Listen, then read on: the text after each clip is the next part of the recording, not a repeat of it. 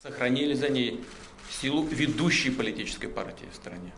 Un eccellente risultato in tempi difficili. Così Vladimir Putin commenta l'esito delle elezioni per il rinnovamento della Duma, il Parlamento russo.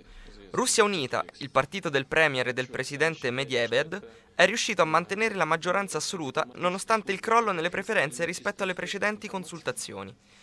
49,5% dei consensi e 238 seggi contro i 315 di due anni fa. Putin non fa drammi e si mostra soddisfatto davanti alle telecamere, ma il suo partito non sarà più in grado di modificare da solo la Costituzione russa e dovrà necessariamente cercare accordi con gli altri partiti. Forte delusione tra i sostenitori del Premier, che sarà comunque in grado di governare autonomamente.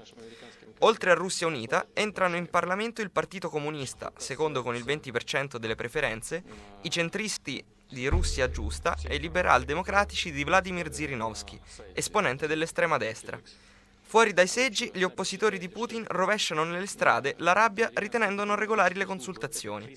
La mobilitazione dell'esercito e le numerose misure di sicurezza predisposte dalle autorità russe non hanno fermato i tanti manifestanti scesi in piazza per contestare la validità del voto e denunciare brogli e pressioni. Si parla di un totale di oltre 350 fermi, la maggior parte dei quali a Mosca e a San Pietroburgo.